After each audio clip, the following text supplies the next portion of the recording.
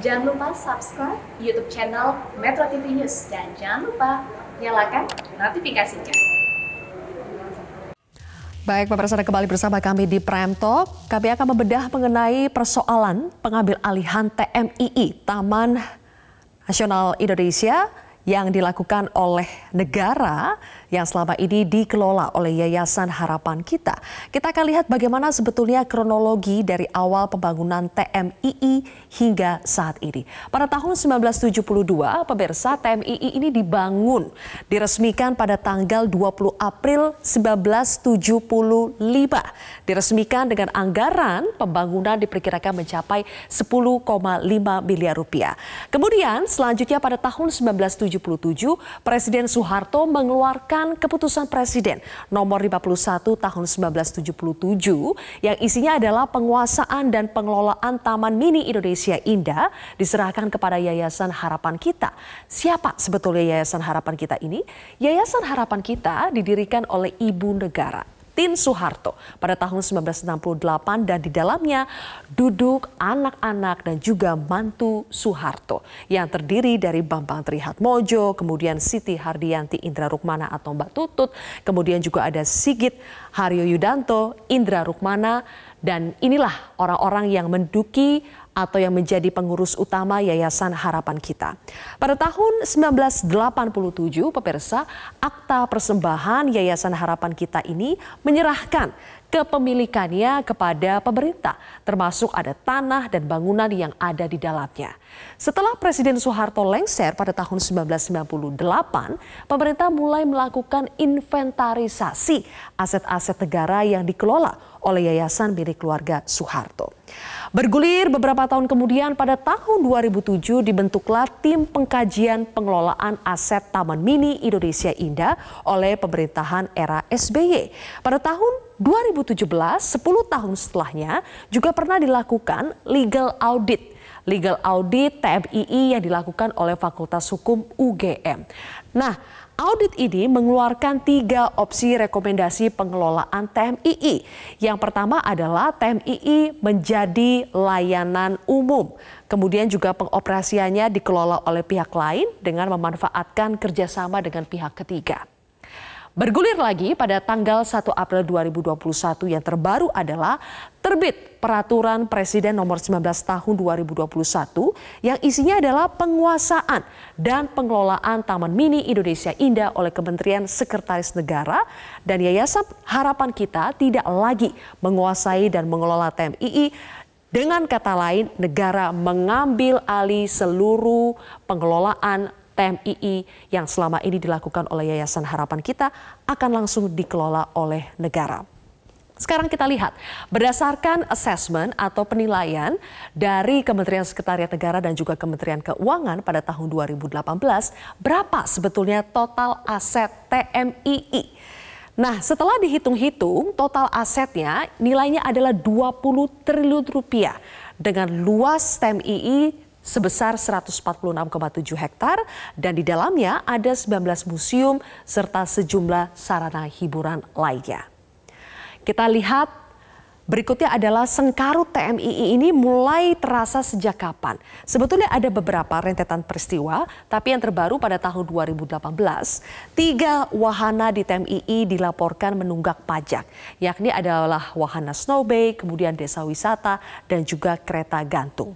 Berikutnya ada lagi sengketa antara lima anak Soeharto dengan perusahaan konsultasi asal Singapura, yaitu pengusaha atau perusahaan Mitora. Perusahaan Mitora ini meminta Museum Purna Bakti Pertiwi yang ada di TMII disita oleh pengadilan. Alasannya kenapa? Kita akan gali nanti. Dan pengelola TMII juga dilaporkan tidak pernah menyetor uang kas ke negara selama 44 tahun terakhir. Padahal sebagai salah satu aset negara seharusnya TMII ini menyetorkan keuntungan atau ada uh, bagi hasil uh, hasil penjualan yang selama ini dilakukan oleh TMII terhadap layanan publiknya kepada negara. Apa sebetulnya yang terjadi? Apa sebetulnya temuan yang mendasari akhirnya negara mengambil alih pengelolaan TMII dan berapa besar sebetulnya negara dirugikan oleh pengelolaan TMII oleh Yayasan Harapan Kita selama 44 tahun terakhir ini. Saya akan membahasnya bersama dengan anggota tiga Badan Pemeriksa Keuangan atau BPK, Aksanul Kosasi. Selamat malam Pak Aksanul. Selamat malam, Selamat malam. Baik, Pak Hasanul. Selama 44 ya, ya. tahun bermasalah tidak pernah menyetor kas ke kas negara.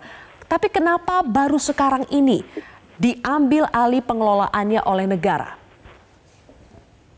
Ya, ini memang dasar pemeriksaan saya ya, eh, sekitar eh, pertengahan tahun 2020 Mm-hmm. Memang dari awalnya kompleks Taman Mini ini kan 147 hektar tanah milik negara. Tanah ini dikelola oleh Yayasan Harapan Kita sejak tahun 75. Nah, kemudian Presiden mengeluarkan kepres itu kita merekomendasikan karena begitu saya periksa, mm-hmm. memang selama ini uh, Seknek sebagai pengguna barang dia tidak penuhnya bisa mengontrol, memberikan pembinaan, pengawasan kepada taman mini. Termasuk juga penyusunan direksi, penunjukan direksi, bagaimana uh, bisnis plan taman mini, itu Seknek tidak pernah terlibat. Hmm. Sementara tanah ini kan tanah mereka, tanah negara. Ya. Tidak pernah terlibatnya kenapa Pak Aksanul? Ya, memang ini semua dikuasai dan dikelola oleh yayasan. Kepresnya hmm. begitu.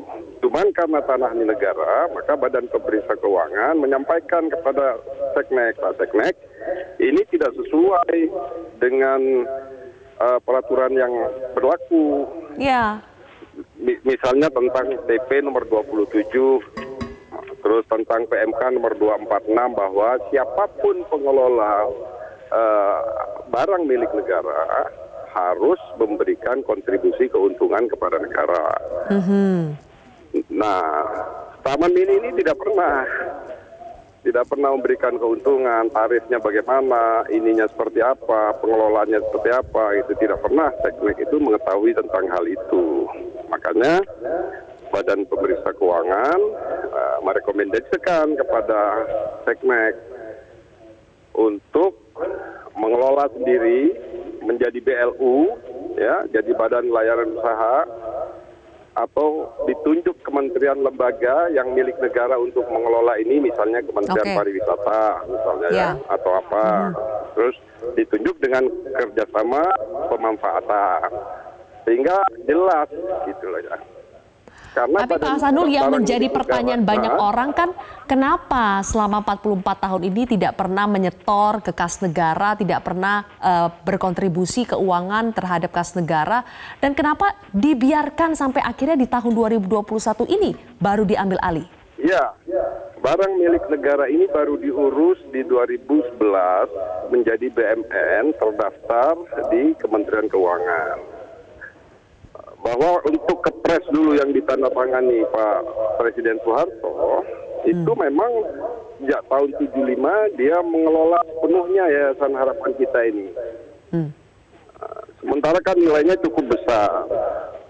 Dan ada beberapa lahan yang membuat kami juga di Badan Pemeriksa Keuangan mengambil kesimpulan untuk negara segera dilakukan pengambil alihan oleh negara karena dari 147 hektar itu ada sekitar 90 hektar yang dikerjasamakan dengan pihak lain, Seknek pun tidak tahu gitu Hmm. Jadi begitu kita periksa satu persatu gitu ya, ternyata banyak lahan-lahan yang dikerjasamakan dengan dimitrakan dengan pihak ketiga gitu tanpa melapor hmm. kepada Seknek.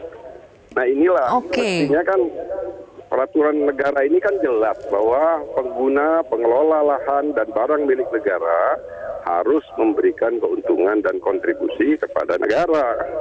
Nah dari situ dasarnya Badan Pemeriksa Keuangan merekomendasikan.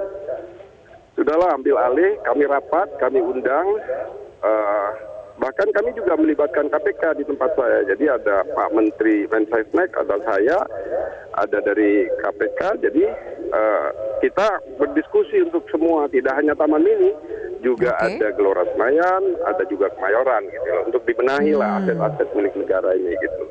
Oke, jadi Pak Hasanul singkatnya adalah uh, ada dua alasan mm -hmm. besar ya kenapa negara akhirnya mengambil mm. alih TMII. Satu, 44 tahun yeah. tidak pernah setor ke kas negara dan kedua ternyata yeah. ada 90 hektar lebih uh, yeah. luas tanah di TMI yang ternyata dikerjasamakan dengan pihak lain. Nah, saya akan gali lebih jauh yeah. soal yang dikerjasamakan dengan pihak lain. Dikerjasamakan ini maksudnya seperti apa sih dan kerugian yang dialami negara atas adanya kerjasama dengan pihak ketiga ini apa? Boleh kita bahas nanti, Pak Asanul. Kami harus jeda terlebih dahulu. Pemirsa Prime akan kembali sesaat lagi. Kami kembali melanjutkan perbincangan bersama dengan anggota 3 BPK Asanul Kosasi. Pak Asanul kita lanjutkan lagi. Tadi Anda katakan dari 147 hektar TMII ternyata 90 hektar di antaranya itu dikerjasamakan dengan pihak lain tanpa diketahui atau tanpa seizin negara. Dikerjasamakan di sini maksudnya seperti apa Pak Asanul? Ya, saya harus menyampaikan biar saya luruskan ya, biar nanti tidak ada salah persepsi bahwa hmm Uh, dari 147 hektar itu kan ada kan untuk anjungan daerah, untuk museum gitu ya. Uh -huh. Terus uh -huh. ada yang di, dikerjasamakan dengan mitra. Di sini lahan unit usaha. Kita pemeriksa saya minta agar yang dimitrakan dengan pihak lain itu coba lihat kerjasamanya seperti apa dan Kemensesnek tahu apa enggak tentang hal ini. Uh -huh. ya sehingga karena kalau dimitrakan dengan pihak ketiga itu kan mestinya memberikan hasil yang cukup ya. Mhm. Mestinya mm-hmm. seknek kan dapat. Nah ternyata dari uh, 62 persen atau sebesar serat berapa tadi 923 ribu 821 ini datanya saya pegang itu dilakukan kerjasama dengan dimitrakan dengan pihak lain tapi belum didukung perjanjian dengan Mensesnek. Nah, kalimat pastinya hmm. begitu. Belum hmm. didukung perjanjian dengan Mensesnek. Mestinya uh, dia menyampaikan, melaporkan kepada Mensesnek tentang hal ini. Nah, itulah eh, hal-hal uh, seperti ini kami menyoroti agar uh, diperbaiki lah, dibenahi oleh Mensesnek. Tapi dengan adanya Mensesnek, Kementerian Sekretariat Negara ini menindaklanjuti temuan BPK, kemudian Pak Presiden uh, menetapkan kepres uh, untuk mengambil alih pengelolaan taman ini itu rasa saya rasa langkah yang bagus, langkah yang Oke. baik. Ya. Karena memang Pak Sanul, itu punya berarti, negara. Berarti ya. uh, pihak ketiga ini uh, kasarnya adalah mereka menaruh duit mereka di TMII karena ada proyek uh, yang dikerjasamakan dengan TMII? Ya bisa jadi. Nanti saya akan dalami lagi tentang hal ini. Apalagi ah apabila ini sudah dikelola oleh Mensesnek, kan kita akan masuk lebih dalam lagi nanti seperti apa. Iya, jadinya nanti, bagaimana itu Pak Sanul kalau sudah ada pihak ketiga di antara negara dengan TMII setelah negara mengambil alih seluruhnya, bagaimana nasibnya nanti dengan pihak ketiga? Adakah nanti kontrak atau kerjasama yang uh, dilanggar karena negara mengambil alih ini? Ya, itulah katanya ada yang menggugat ya. Saya nggak tahu. Hmm. Katanya ada yang saya mendengar-dengar ada yang menggugat gitu. Tapi bagus ya. juga biar kita tertib gitu loh ya.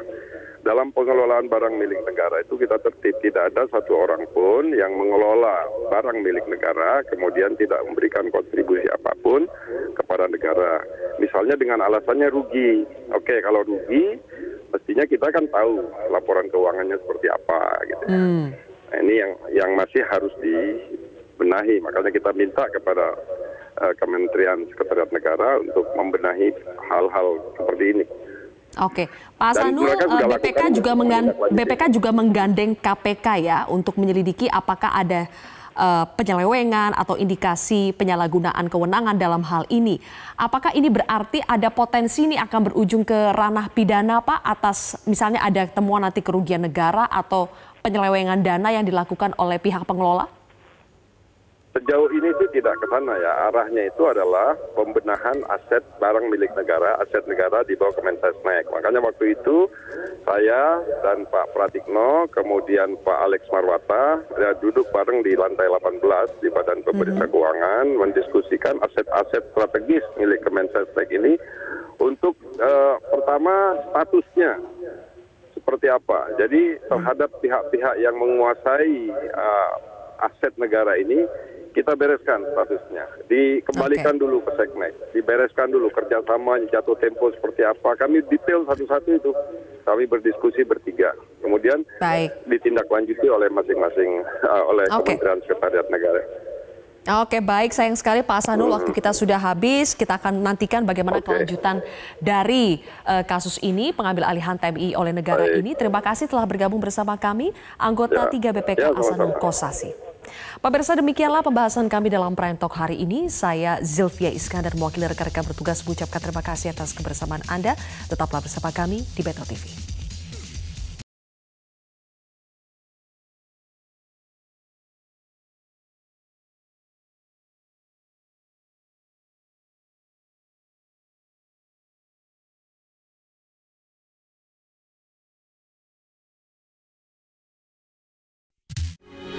Metro TV